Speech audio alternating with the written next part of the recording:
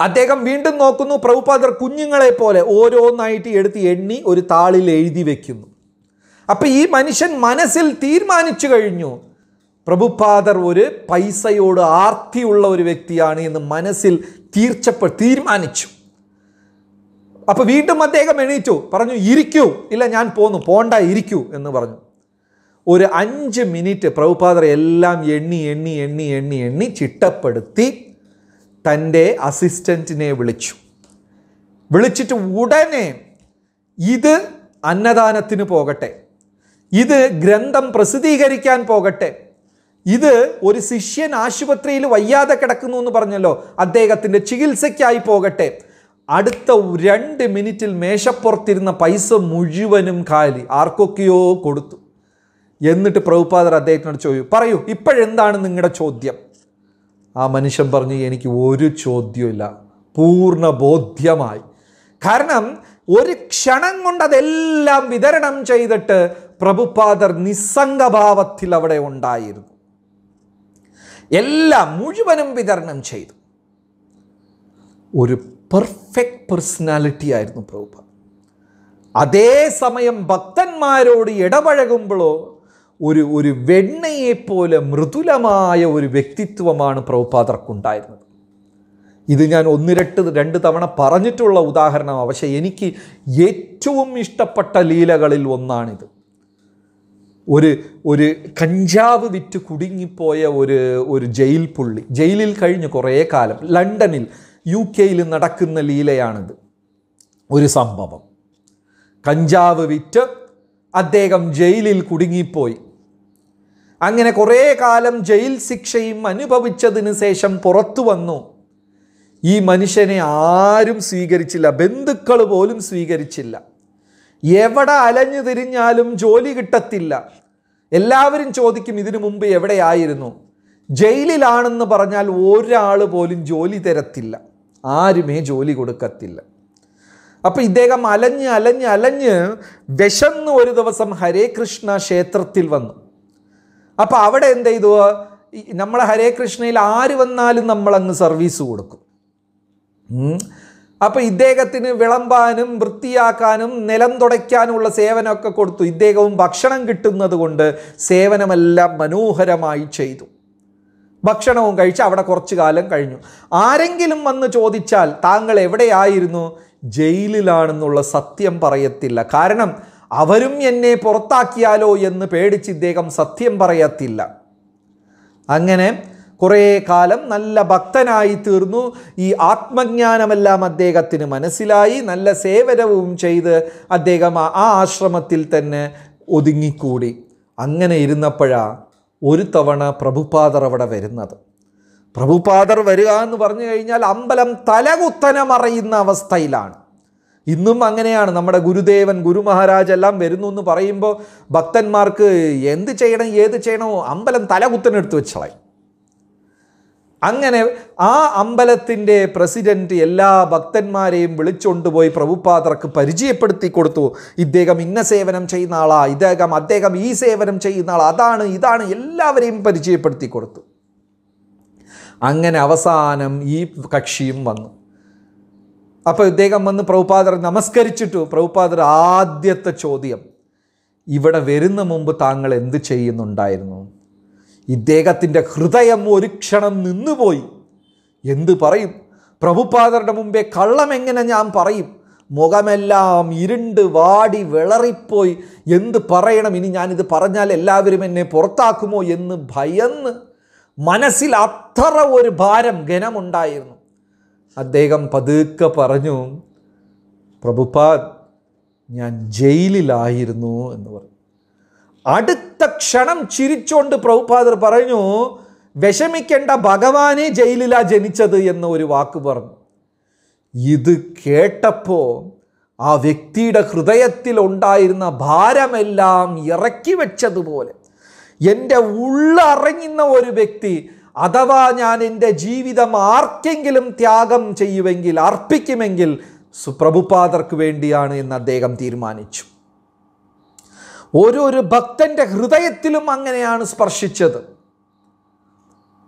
ജാനകി മാതാജി ആദ്യത്തെ മൂന്ന് ദമ്പതികൾ ഇംഗ്ലണ്ടിൽ വന്ന് പ്രസ്ഥാനം തുടങ്ങിയവർ. മൂന്ന് ദമ്പതികൾ. മുകുന്ദ ജാനകി അങ്ങനെ മൂന്ന് പേര് കപ്പിൾ ഇവർ വന്ന് ഇംഗ്ലണ്ടിൽ വന്ന് പ്രസ്ഥാനം തുടങ്ങി ആദ്യകാലത്ത്. പ്രഭുപാദർക്ക് അവരെ ജീവനായിരുന്നു.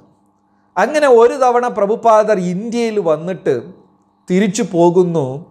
ഈ ജാനകി മാതാജി ഈ ഹരേ കൃഷ്ണയായിട്ടുള്ള ബന്ധമെല്ലാം വിട്ടിട്ട് പ്രഭുപാദർ ഭാരതത്തിൽ നിന്ന് തന്റെ ശിഷ്യന്മാർക്കും ശിഷ്യകൾക്കും വേണ്ടി ഒരു അച്ഛനെ പോലെ മുണ്ടും സാരിയും എല്ലാം കൊടുത്ത കഥയൊക്കെ ഉണ്ട്.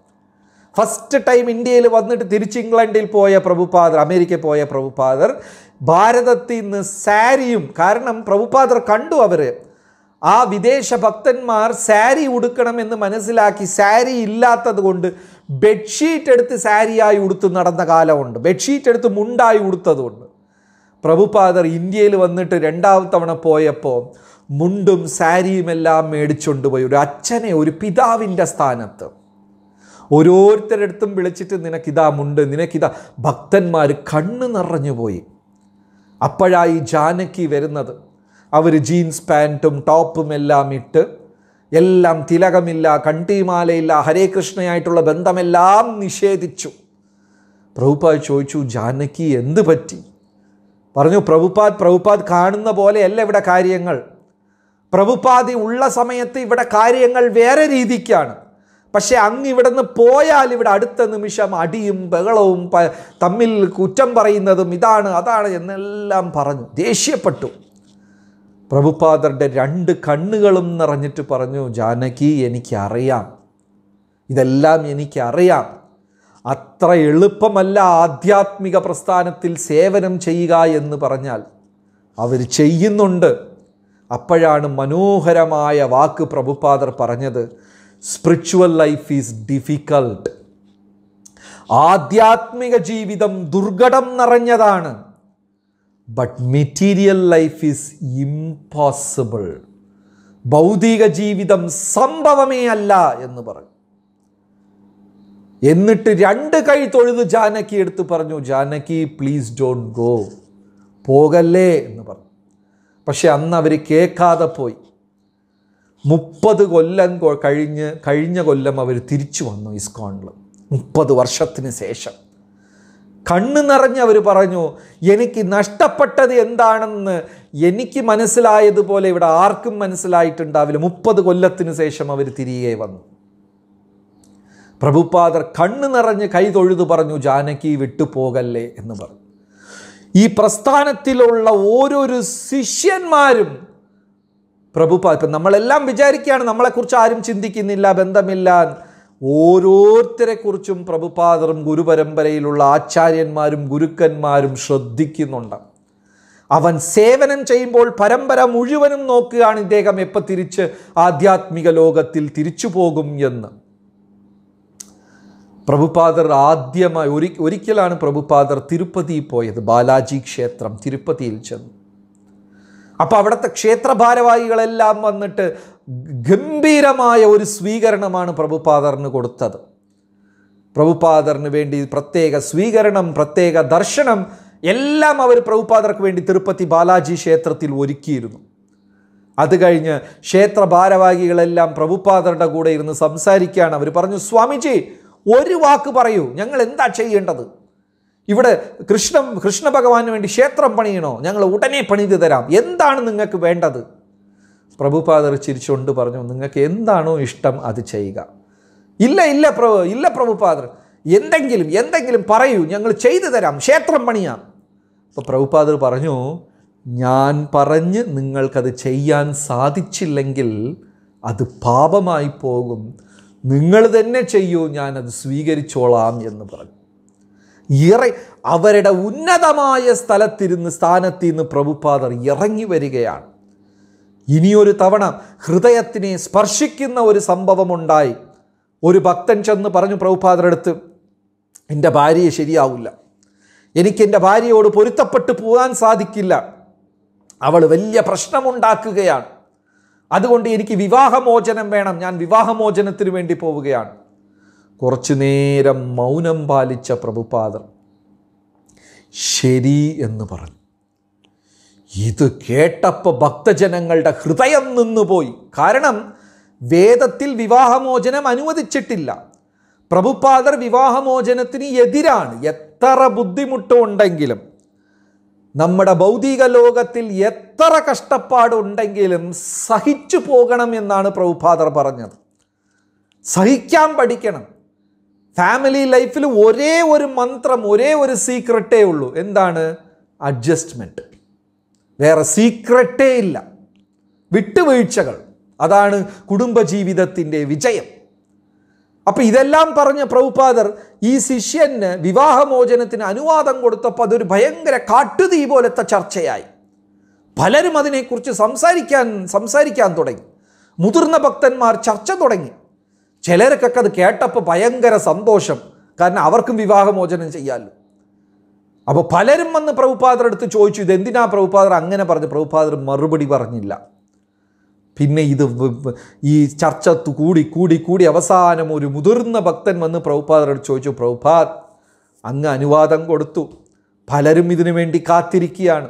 അതുമാത്രമല്ല പ്രസ്ഥാനത്തിൽ ഇപ്പോൾ ഇതൊരു വലിയ ചർച്ചാ വിഷയമായിരിക്കുകയാണ് കാരണം പ്രഭുപാദർ എന്തിനാണ് വിവാഹമോചനത്തിന് അനുവാദം കൊടുത്തത്? അപ്പോൾ വി പ്രഭുപാദർ മൗനത്തോടൊരു മറുപടി പറഞ്ഞു.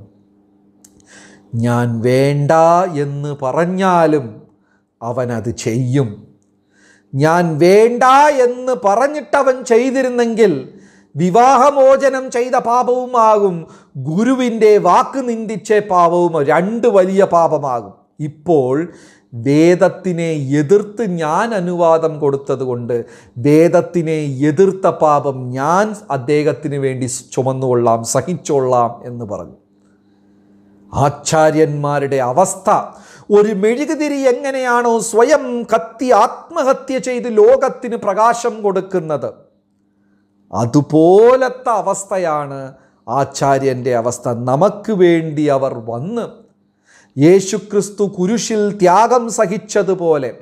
ഹരിദാസ് ഠാക്കൂർ ഇരുപത്തിയൊന്ന് മാർക്കറ്റ് കവാലയിൽ വെച്ച് ചാട്ടവാറിന്റെ അടിമേടിച്ചതുപോലെ നമുക്ക് വേണ്ടി വേദനകളും യാതനകളും അനുഭവിച്ച് എല്ലാവരെയും കൃഷ്ണഭക്തന്മാരാക്കാൻ വേണ്ടി ഇറങ്ങിത്തിരിച്ച ആചാര്യന്മാരാണ് ഇവരെല്ലാം.